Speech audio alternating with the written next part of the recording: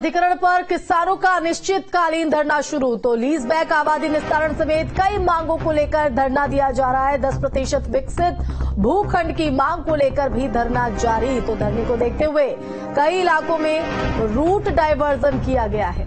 तो ये बड़ी खबर ग्रेटर नोएडा से आपको बता रहे प्राधिकरण पर किसानों का ये अनिश्चितकालीन धरना शुरू हो गया है कितनी बड़ी संख्या में किसान लाल झंडा हाथ में लेकर किस तरह से अपना विरोध दर्ज कराते हुए तो यहाँ पर किसानों की मांग, लीज बैक, आबादी निस्तारण समेत कई मांगे जो हैं, वो यहाँ पर किसानों की तरफ़ से रखी गई हैं। 10 प्रतिशत विकसित भूखंड की मांग को लेकर ये धरना प्रदर्शन इनका जारी तो कई इलाकों में रूट डाइवर्जन किया गया है, क्योंकि जिस तरह से बड़ी संख्या में किसान यहाँ पर इकट्ठा हुए हैं, ऐसे में लोगों को आवाजाही में दिक्कत ना हो, इसको लेकर ये डाइवर्जन किया गया। संवाददाता अमित चौधरी हमारे साथ फ़ोन लाइन पर जुड़ गए। अमित, प्राधिकरण पर किसानों का अनिश्चितकालीन धरना शुरू, कई रूट डाइवर्जन भी। क्या जानकारी?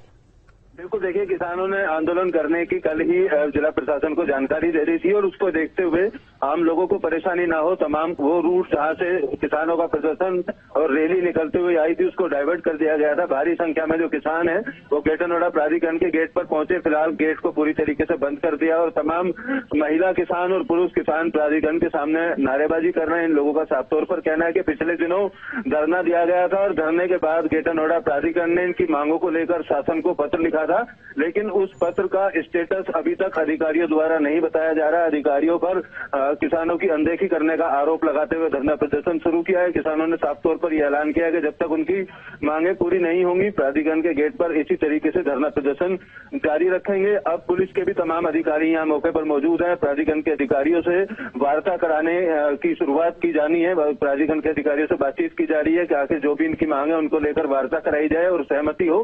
लेकिन किसानों ने ये बात बिल्कुल स्पष्ट कर दी कि जब तक मांगे पूरी नहीं होंगी तब तक धरना प्रदर्शन इसी तरीके से जारी रहेगा। जी। बिल्कुल और साथ ही साथ अमित क्योंकि जिस तरह से हम तस्वीरों में भी देख पा रहे हैं कितनी बड़ी संख्या में प्राधिकरण में अपना यहाँ पर विरोध दर्ज कराते हुए ये किसान और इसी को देखते हुए रूट डाइवर्जन भी किया गया है। कौन कौन से वो इलाके हैं जहाँ पर रूट को डाइवर्ट किया गया है? साथ ही आप जिस तरह से बता रहे हैं कि सहमति को लेकर भी यहाँ पर कोशिश की जा रही है। तो क्या कुछ कोशिश अभी तक की गई है प्रशासन की? तरफ़ से? बिल्कुल, देखिए जो रूट डाइवर्ट किए गए हैं वो दादरी और इसके आसपास के इलाकों से आने वाले जो भी रूट पेटानोडा प्राधिकरण, गोलचक्कर तक आते हैं, वहाँ आने वाले तमाम रूट को डाइवर्ट किया गया था। जितनी भी गाड़ियाँ उनको वैकल्पिक मार्गों से निकाला गया ट्रैफ़िक पुलिस को सुबह से ही तैनात कर दिया गया था और पुलिस के तमाम सीनियर अधिकारी डीसीपी एडिशनल डीसीपी एसीपी और कई थानों की पुलिस को यहाँ पर इसलिए लगाया गया है ताकि आम लोगों को किसी तरीके की समस्या ना हो।